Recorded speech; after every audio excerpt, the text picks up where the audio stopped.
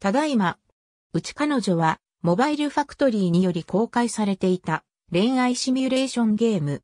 2012年12月20日グリーにて配信開始。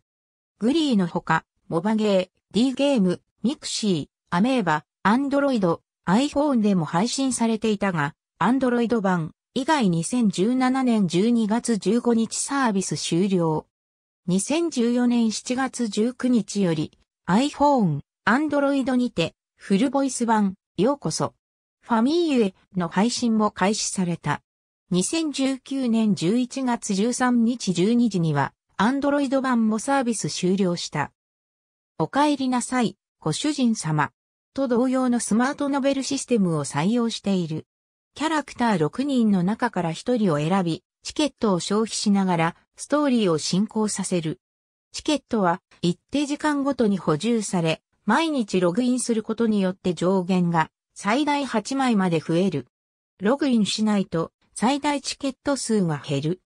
各キャラクターともストーリー内の出来事をキャラクター側からの視点から描いた裏話が設定されており、コインかポイントを使うことでロックを解除できる。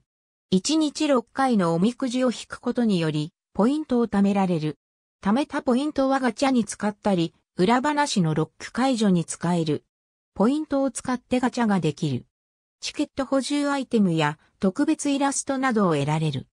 不慮の事故で突然家をなくした主人公は途方に暮れ、サークルの先輩で親友の葵に相談すると、葵が住む男子近世のシェアハウス、ファミーユに案内される。